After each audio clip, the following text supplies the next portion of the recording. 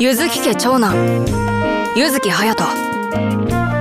ご飯だぞ。男3人だからとにかくよく食うんだよ。だからスーパーの安売りとかめっちゃチェックしてオスとして終わってるって言われたんです。俺まだ23歳なのに。ガクトさん俺がお背中流しましょうか？スマホで撮っていい？今何時？